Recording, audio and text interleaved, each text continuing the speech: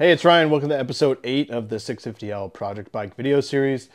And uh, today's going to be a good day, hopefully. Um, we're going to finish mounting up this tank. We got the new rubber puck. You'll see what was on there before. It's kind of funny. I got the new front mounts. Um, probably going to replace the O-ring um, on the petcock uh, just because um, I imagine it's going to be leaking. Um, and then once that's on, uh, there's no reason why we can't start up the bike and take it for a little run. Obviously, we have plenty of um, big projects we still need to do, but as far as being able to get the bike rolling, um, kind of a kind of a big goal, and I feel like it'll give me the motivation to get to the bigger project. So, um, if you're new, welcome. If you're returning, welcome back, and we'll jump into it. All right, I got the IMS tank on the bench. Um, I was rinsing it out with some crappy fuel that I had and dumping it just to kind of get a little bit of the debris out. And then as I was doing that, I noticed the petcock was leaking. So um, the good news is in the hardware kit that I got from IMS for mounting it, there was a new O-ring. Um, I already have it installed, um, but I just got lucky with getting a new one. So I knew the tank wasn't sitting right when I got the bike. Um, the front rubbers are there, but this is what was underneath the tank when I took it off. Um, some little homemade plastic washer uh, taped together, um, and it was super sloppy. So I got a brand new rubber uh, mount and um, I have new front mounting brackets for the IMS tank. So we're gonna mount it up and hopefully it uh, clears everything because it was rubbing on one of the big fins, the, the petcock was. So um, we're trying to avoid that. So got the tank installed with the new brackets, but I have two concerns. Uh, first one is how close this is. You can hear that it's there's basically no gap. Um, so I think it might be worth shaving this fin a little bit, how these ones are, and just kind of match it. And then I'll show you on the other side as well.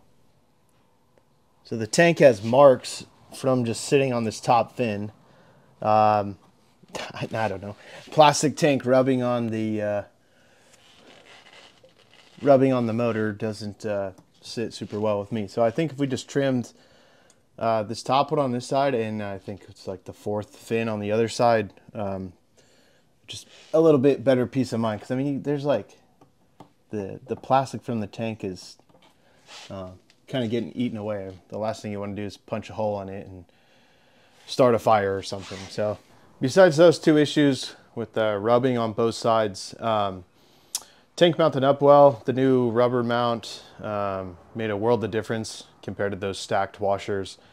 I'm going to uh, put some fresh fuel in and uh, see if we can't get this thing fired up. Well, kind of a bummer. I got the tank on, I put the seat on, I put the side panels on, and I went to start the bike and it won't start. Um, and it seems like I have no spark again. So I'm going to pull the plug and double check. But uh, I think it's just this uh, bad ground that keeps coming back and causing me problems. Well, it's uh, turned into a day of chasing electrical around. Um, the the ground's been a pain in the butt, so I snipped off the ends uh, with the connector, and I'm hoping this is the issue. You can see the one closest to the camera. It's got some um, pieces out of the uh, insulation. So I'll put a new connector on, crimp those up, and then see if we can get some spark. Well, I redid the ground, um, and that wasn't the problem. Um, so I resorted to uh, just hitting stuff. Um, after whacking the CDI box a couple of times, I got spark back. So um, I think we chalked it up to uh, the CDI starting to go bad. So we'll order one of those. In the meantime, we'll see if we can't get this thing started.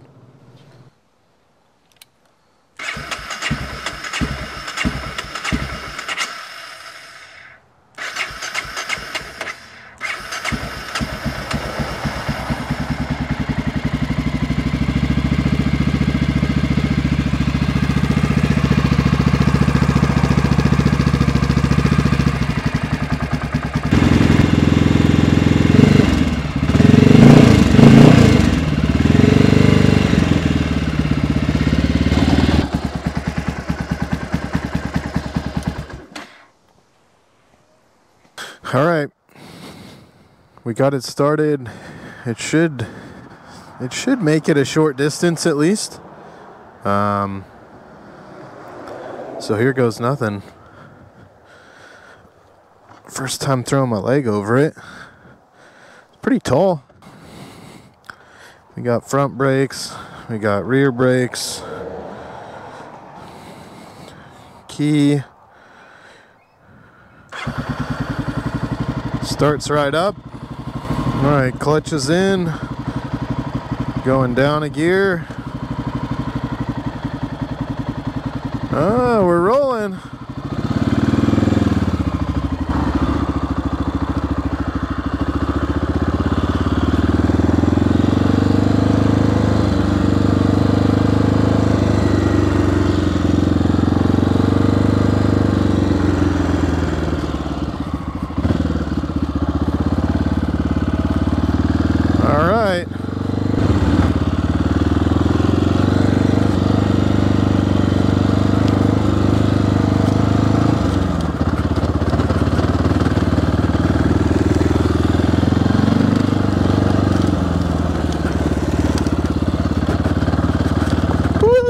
também.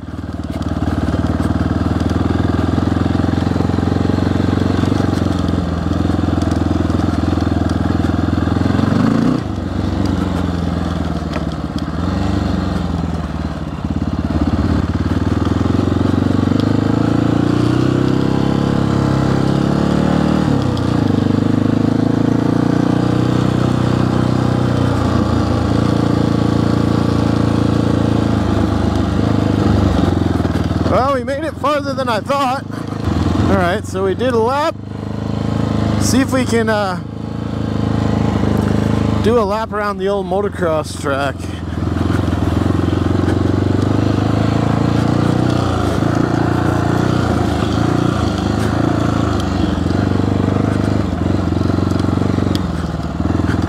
Non-existent, but these were our these were our flat turns. Oh yeah, oh I think I cut it short.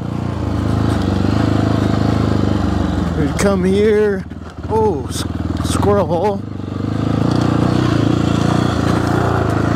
Oh my goodness.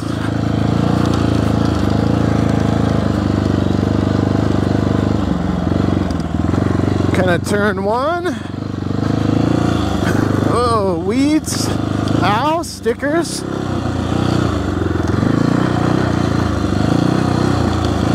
Two little tables. Now this is full of stuff but this was a little double. My goal is to make kind of like a I don't know what you want to call it a, a course that I can do every bike on and then we can compare how the bikes do. But man this thing is this thing's stiff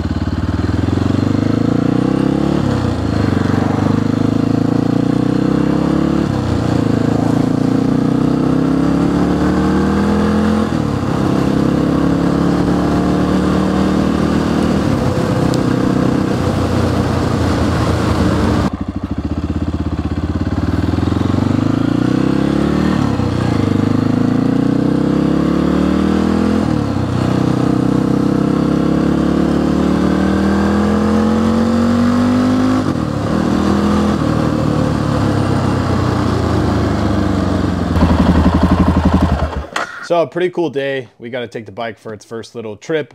Um, we rode out in the back field and took it down the street. Um, all in all, it felt pretty good. Uh, it felt really stiff.